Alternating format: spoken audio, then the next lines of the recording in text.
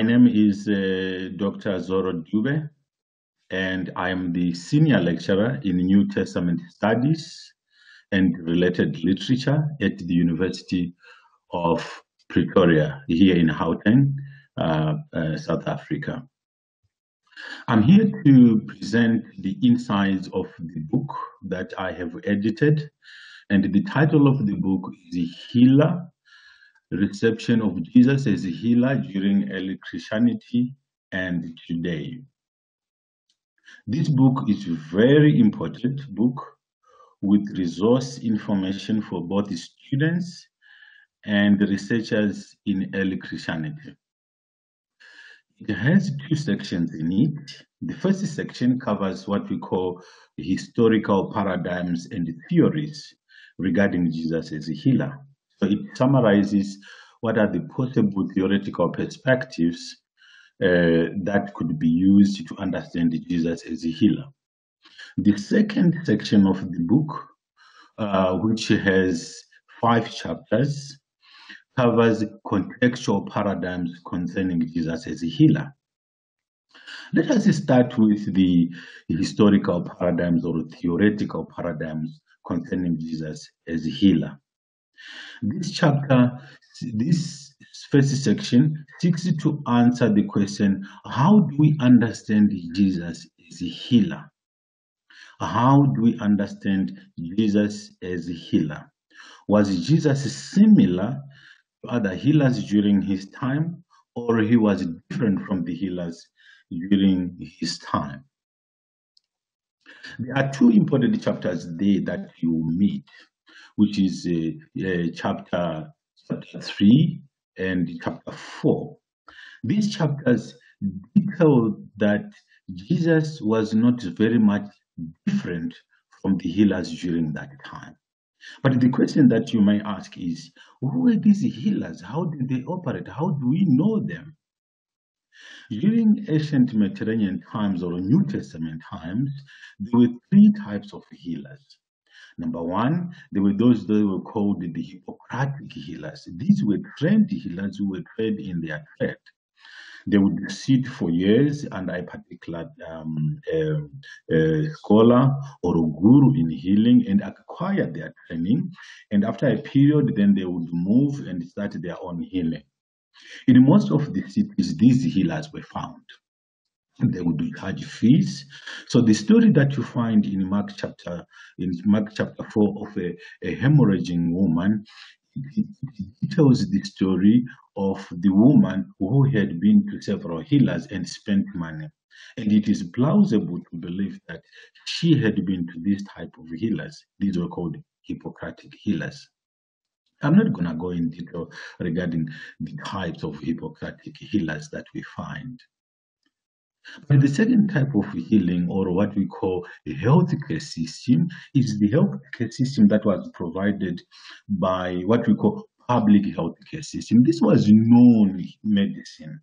Like if you are having a headache, you can steam some water, or you can eat the barks of a tree, or whatever. This was what we call public healthcare system. It was a non-healthcare system, known by everybody. But important to us is what is called folk healing. Folk healing is healing that was done by people with divine powers or divine spirit.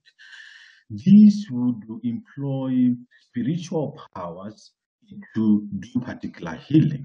So you hear um, Jesus ben Dosa, uh, Hanania of uh, uh, um, uh, uh, in various uh, Greek healers that we find in the New Testament or outside of the New Testament. These healers had the ritual powers that they use.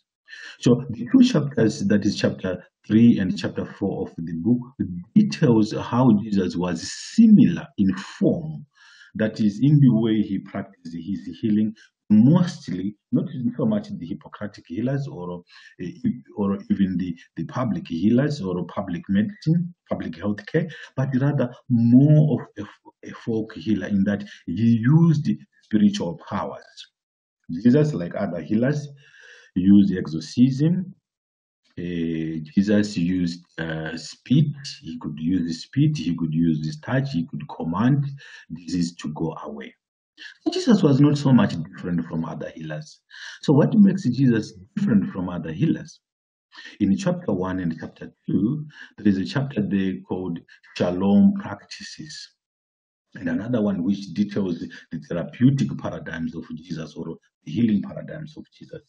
Jesus was was the Son of God or the Messiah, and in that case, Jesus restored not only the bodily pain of a person, but but but but he restored the, the, the individual or the patient to his society.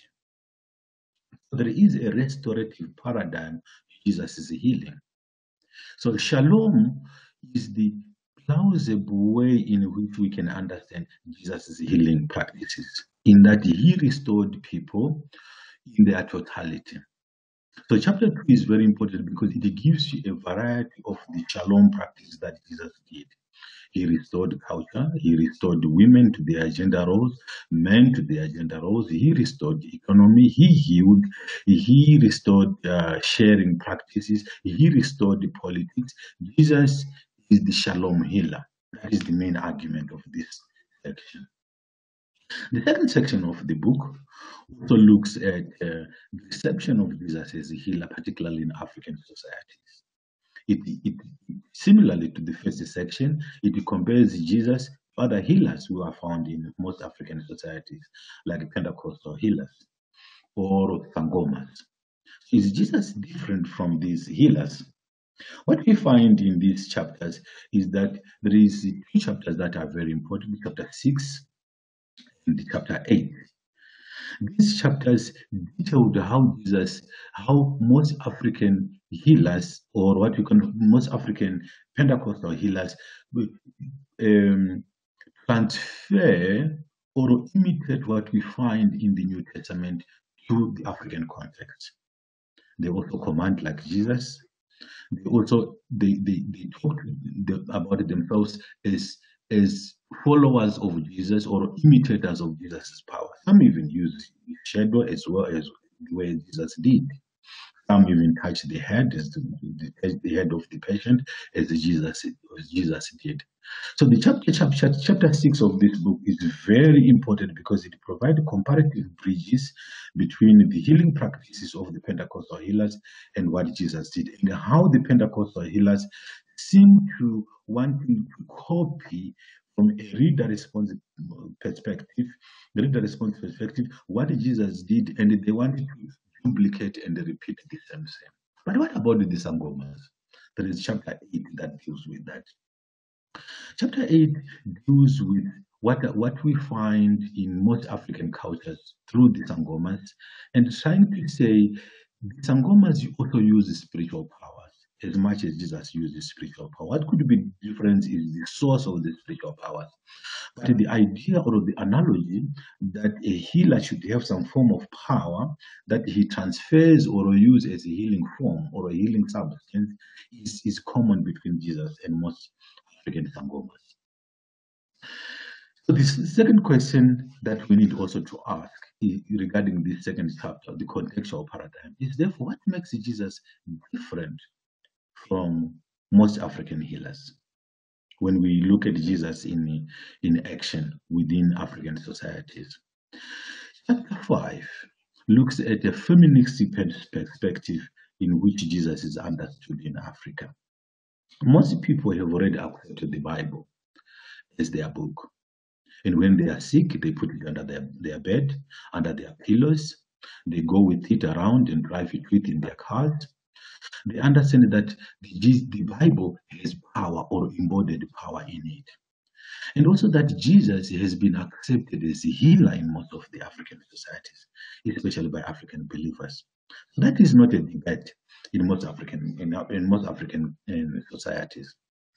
But what makes Jesus unique is that the, the, the ordinary African reader believes that Jesus is their healer in, in their daily experiences. Not only does he heal, but he travels with them. He is with them. He understands them. Jesus is not like a sangoma who needs to be told. Neither is he like a medical doctor who needs to be consulted when somebody is sick. That chapter uh, tells that Jesus is closer it gives a, a, an analogy of a skin, and Jesus is analogous to the skin. He covers every day. He understands even before the, the sick patient tells the experiences or the pain or whatever the person is suffering from. Jesus understands what the person is, is going through.